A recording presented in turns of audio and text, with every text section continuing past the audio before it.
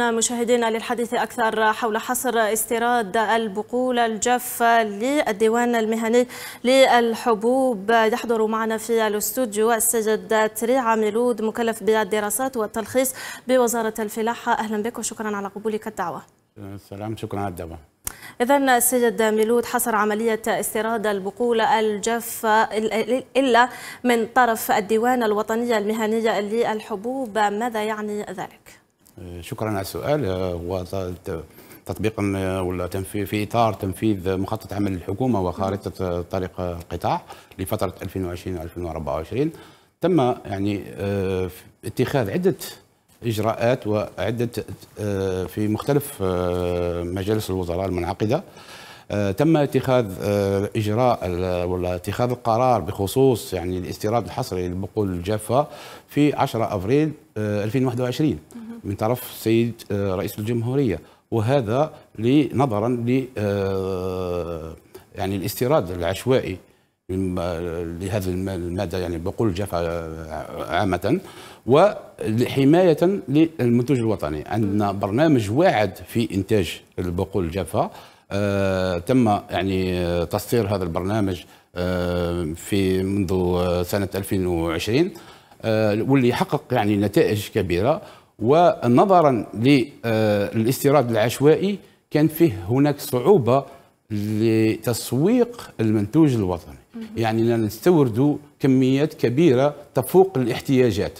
وتنفيذا ولا تطبيقا لقرارات ولا تعليمات السيد رئيس الجمهورية باستيراد ما نحتاجه فقط. يعني هناك عندنا إنتاج وطني حاليا. يعني إنتاج ذو جودة عالية وقيمة غذائية عالية وجب حمايته والنهوض بشعبة البقول الجافة. يعني تم تصدير مخطط يعني جديد للنهوض بشعبة الحبوب والبقول الجافة. فيه عدة إجراءات من بينها. تم يعني في إطار يعني النهوض بهذه الشعبة ورفع الإنتاج الوطني. تم رفع منحة الإنتاج. تستطيع منحة يعني منحة الجمع يعني من التي تدخل في سعر الشراء من عند الفلاح. هذا ليشجع الفلاحين إنهم يزيدوا في المساحات المخصصة للبقول وزاد الإنتاج ولضبط يعني تسويق ولضمان تسويق المنتوج الوطني وحمايته. تم اتخاذ القرار بالإستيراد الحصري من طرف ديوان الحبوب. طيب تحدثت ربما عن هذا البرنامج التي ربما ستتبعه وزارة الفلاحة من أجل ضمان احتياجات الاحتياجات البقول بالنسبة للسوق الوطنية لما نتحدث عن إمكانيات والقدرات نتحدث عن الإنتاج طبعا. ربما هل يعني المخزون والإنتاج كافية اليوم من أجل تلبية السوق الوطنية؟ ونتجه إلى ربما حصر الاستيراد.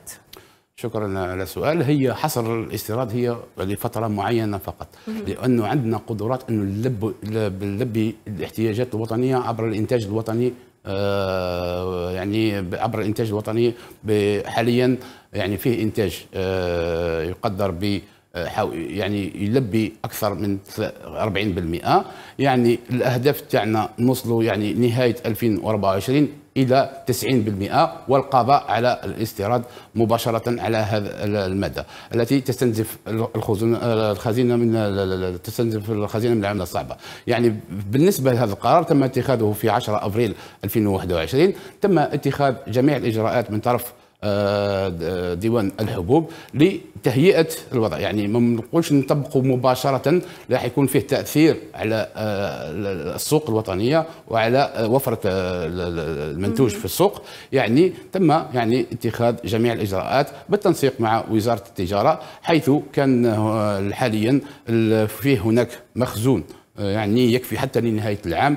لا نطمن جميع المواطنين نطمن جميع يعني المتعاملين إنه الوفره راه عندنا وفره وعندنا مخزون يكفي بالإضافة إلى الحملة تاع الحصاد حملة الجني اللي راح نقوم بها في إطار يعني حاليا عندنا يعني هدف تاع مساحات يفوق 120 ألف هكتار.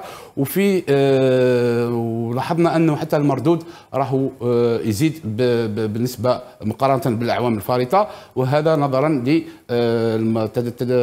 تطبيق المسار التقني وأيضا تم وضع نظام يعني تعاقدي مع بين المنتج البقول الجافه وتعاونية الحبوب بإشراك جميع يعني الشركاء الاجتماعيين. يعني هناك يعني نظام لتتبع الإنتاج مع اليوم عندنا إحصاء على المنتجين. نعرف المساحات مخصصة لذلك. يعني آه، سهل التتبع يعني البذور توفير المدخلات. لهذا لضمان يعني آه، وفرة في الإنتاج. بالنسبة للبذور يتم إنتاجها محليا بذور هي البذور منتج يعني عندنا ثلاث متعاملين اقتصاديين يعني خواص ينتجوا البذور متمكنين. هي بذور محلية آه، لا لا نلجأ للاستيراد لا نرتبط بالسوق العالمية فيما يخص يعني البذور. آه، البقول جبا وهذا يعني يعتبر يعني آه، ربما هذا كذلك يشجع الفلاحين. يشجع الفلاحين. على يعني إحنا ما نرتبطوش بالسوق العالمية. يعني مشكلة أسعار البذور متمكنين فيها الوفرة البذور متمكنين فيها. يعني سهل إنك توصل يعني لتوفير هذه المادة والقضاء على الاستيراد. يدخل في تعزيز يعني الأمن الغذائي خاصة في ظل الظروف والتقلبات يعني التي يشهدها آه، سوق تشهدها السوق العالمية. يعني ممكن حتى آه، في بعض الأحيان كانت يعني ارتفاع آه، ارتفاع رهيب لاحظت هذا في 2021 كان في ارتفاع الأسعار اللي وصلت أسعار قياسية في السوق العالمية بسبب الاضطرابات السياسية وكان هناك تدخل ديوان الحبوب ليسوق المنتوج الوطني بأسعار اللي ما فقدش حتى 120 دينار طيب بعد هذا القرار هل الديوان اليوم ربما مع الارتفاع المستمر للبذور في الأسواق للبقول الجافة في الأسواق العالمية هل بهذا القرار الديوان قادر ربما على دعم الأسعار محليا؟ هي شكرا هو الديوان الحبوب عنده يعني خبرة كبيرة في مجال سواء في مجال الاستيراد أو جمع المحصول الوطني. هو آه، من مهامه هي ضبط السوق الوطنية.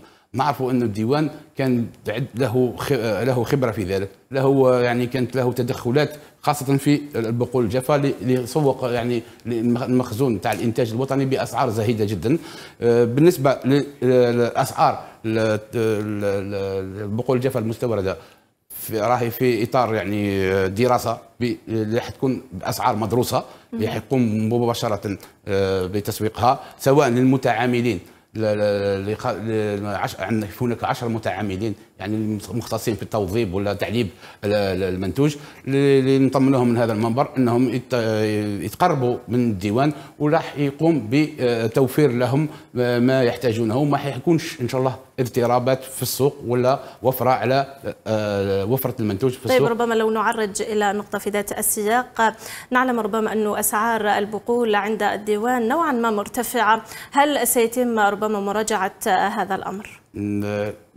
هي مشكلة الأسعار آه، أسعار بقول الجافة هل تتكلمين عن بقول الجافة المستوردة أو الإنتاج الوطني؟ لأن هناك فرق الانتاج الوطني. الانتاج الوطني يعني السعر تاعه زهيد جدا يعني زهيد نعم. مقارنة بالسعر العالمي. أما الأسعار يعني أسعار بقول الجافا المستوردة هناك لجنة تقنية خاصة بالاستيراد هو المنتوج يخضع لنظام البورصة العالمية. يعني هناك لجنة مشتركة من آه، عدة وزارات آه، على مستوى ديوان الحبوب.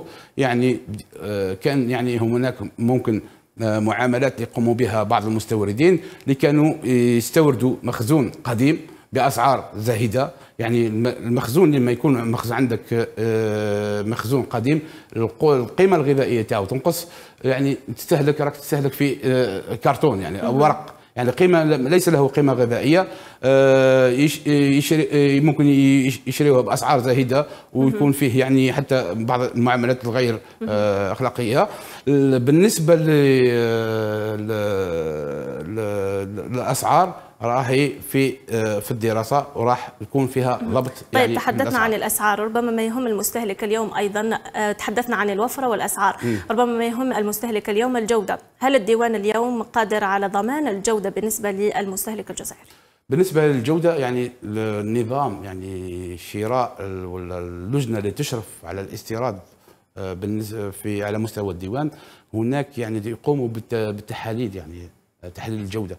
نطمنك إنه كل ما استورد من طرف الديوان يعني منتوج سنة 2022 هذا بالضمان يعني فيه يعني هناك تحاليل على مستوى الموانئ وتحاليل على مستوى آه، المخابر التابعة للديوان لضمان اولا الجودة والقيمة الغذائية للبقول الجافة. طيب تحدثنا عن المستهلك. ربما لو نتحدث عن الصناعيين كيف سيتعامل الديوان بعد هذا القرار مع الصناعيين؟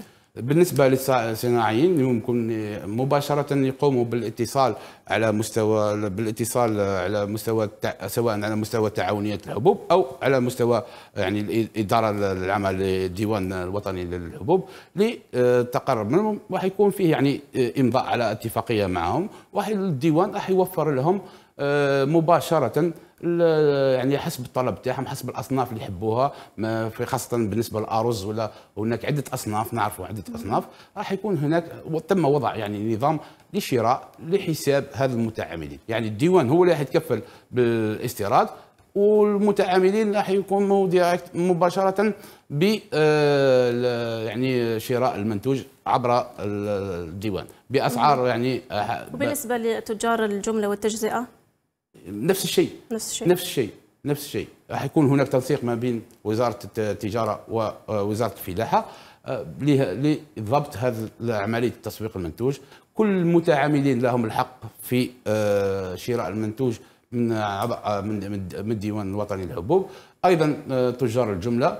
وأيضا راح يكون فيه تسويق عبر نقاط البيع التابعة للديوان. يعني حتى الأسعار ما تكونش حتى الربح راح يكون فيه تتبع. يعني الأسعار آه، ما تكونش فيه مضاربة ما تكونش فيه يعني استغلال ولا تكون فيه يعني آه، متداخلين أو وسطاء اللي راح يزيدوا في السعر. يعني تمكننا إنه نضمن الرقابة نضمن السعر ونضمن جودة المنتوج. وخاصة حماية هذا هو الهدف الرئيسي هو حماية المنتوج الوطني.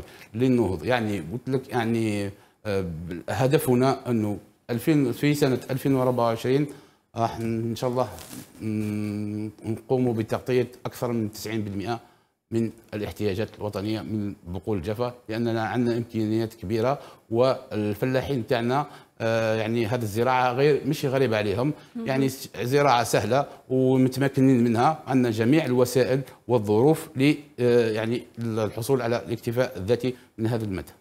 طيب ربما كنقطة أخرى العام الماضي تم حصر استيراد الحبوب من آه، للديوان المهني الوطنية المهنية للحبوب، كيف ربما تقيمون هذه هذا القرار بعد سنة؟ هي قرار والآن يعني. يأتي قرار منع استيراد أو حصر استيراد البقول الجافة هو نفس نفس يعني نفس نفس, القرار. نفس, نفس النظام نفس القرار. يعني يدخل إنه الديوان هو مهامه هو الضبط سواء عبر الجمع الإنتاج الوطني ولا عبر الاستيراد. يعني نستورد ما نحتاجه فقط. وليس نستورد بكميات عشوائية. يعني هنا آه، تم يعني تقليص يعني من عندما تكون هناك أداة ولا آلية عبر يعني الديوان هو الآلية لضبط السوق. يعني ما تكونش عندك يعني آه، استيرادات عشوائية ولا حسب آه، يعني ما يحتاجه المتعاملين وليس ما يحتاجه السوق. كما لاحظنا يعني في مرحلة ما في كانت هناك مضاربة وجدنا حتى يعني هناك آه، يعني تجار ولا متعاملين ولا كانوا عندهم يعني مخزونات كبيرة لتكفي يعني مدة كبيرة. لهذا وجب ضبط السوق ونستورد إلا ما نحتاجه حفاظا على المنتوج الوطني حفاظا على العملة الصعبة والنهوض ب آه، آه، وتوفير كذلك منتوج يعني منتوج جودة, جودة, جودة وقيمة خاصة القيمه الغذائية للمنتوج. شكرا لك سيد تريع ميلود مكلف بالدراسات والترخيص بوزارة الفلاحة على حضورك معنا. مشاهدينا بهذا نصل وإياكم إلى نهاية تفاصيل هذا الموعد الاقتصادي. شكرا على حسن المتابعة والإصغاء. العودة لك بلال جزيل الشكر لك.